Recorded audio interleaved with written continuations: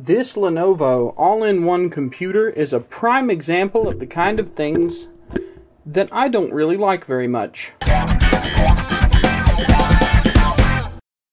This computer is a frameless all-in-one, so it doesn't have a large bezel around the LCD. Unfortunately, that means that there are clips here, here, here, here, here, here, here, here, here, here. Yeah, there's a lot of clips. Um, you've got a hard drive in there, CD drive, RAM here if you want to upgrade.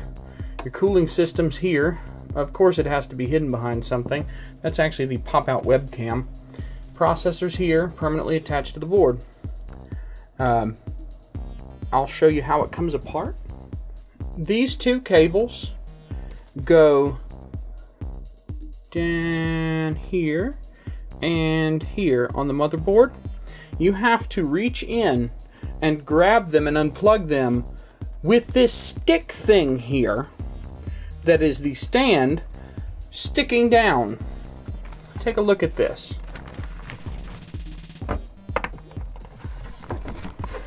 It goes together like this. Okay. There are four screws here that you have to take out that attach to that stick stand this is clipped over them.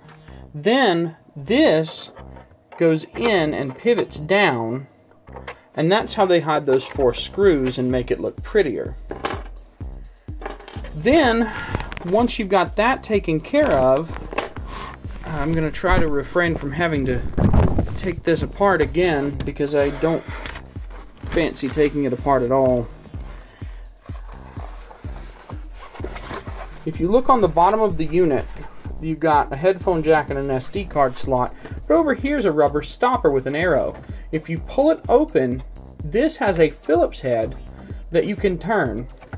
It rotates this release mechanism here that will push the bottom part uh, where the speaker area is forward so that you can get a pry tool in and pry it open.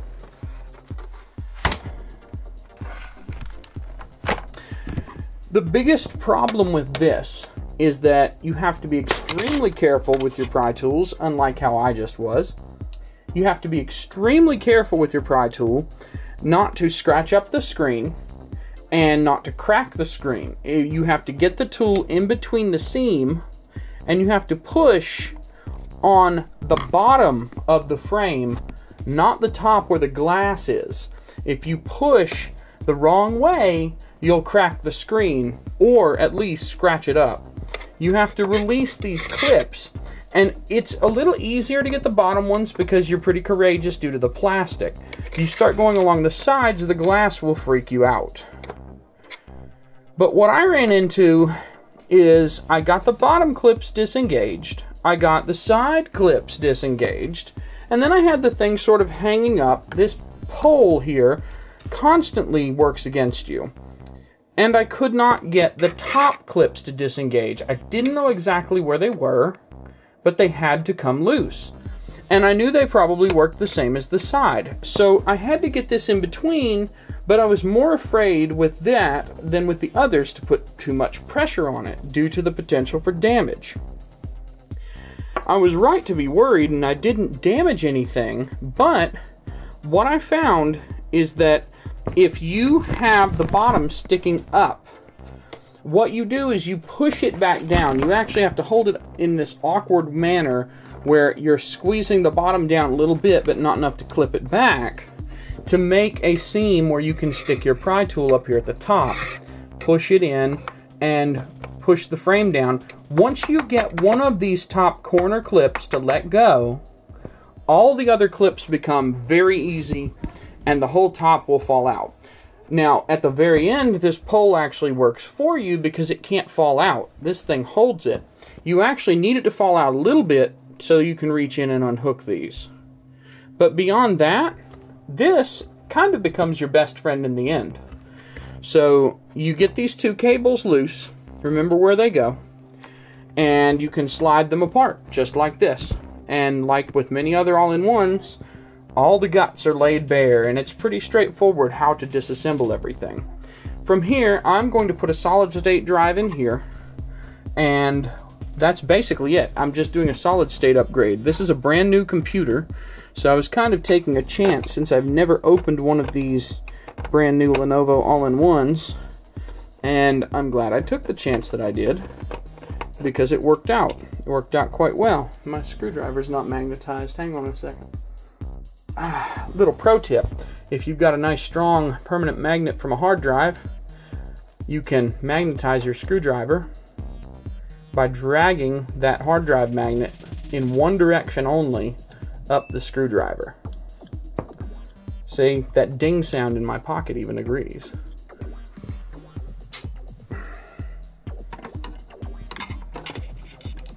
See, magnetized. So now I can get this hard drive box out of here. I noticed that this all-in-one, unlike the last one that I showed you, it has what appears to be probably a full-size hard drive. Now, you may be wondering, how do I get a little tiny solid-state drive the size of a laptop drive to fit where a, nor a normal big fat hard drive goes? And the answer to that is fairly simple. Yep, it's a full-size hard drive. Um, we may need to unhook something. Hang on. Oh, that's great. There's a right angle SATA connector here. There's a power connector down there. I would rather just unplug it from here if I can. Everything is taped together. Oh my god, why? Ah, that's atrocious. Can it can it be popped loose? Ah, it's taped. It's all taped. Okay. So take the tape off. Oh, that is some very strong tape. Oh my god. Ah, come on. Eh, needless to say that if you send it in for warranty service, they'll know you got into it. One desktop hard drive. Now, the trick to getting a solid state in here is you put the solid state down where it would normally go anyway, and you just tape it down. So their little tape trick, we can use that in our favor. Anyway, I didn't really know how to disassemble this, and because it's one of those frameless designs that makes me paranoid, I did not want to disassemble it on camera. Um, it would take a while, and I was a little sketchy at first about how it would come apart. But hopefully, you being able to see where these clips and grooves are will help you to find the pry points. Apparently, also, that little rotational thing there that you use to release it can also be used to get it to clamp back down. I don't know the details, and I think I may have broken that one. Um, it's kind of a dumb design in my opinion, but what are you going to do? I can only work with what they give me. So, we're going to do this solid state upgrade, and that's the end of the story. Hope this helped you guys out. Thanks for watching. Um, I'm going to beg you for likes and comments and all that junk. But really, the best thing you could do is subscribe and hit the bell, and you can see more cool things. I do short films, I do little one-off random videos. Uh, I give my opinions, no matter how dumb and wrong they might be. So, you know, it's a good time for all.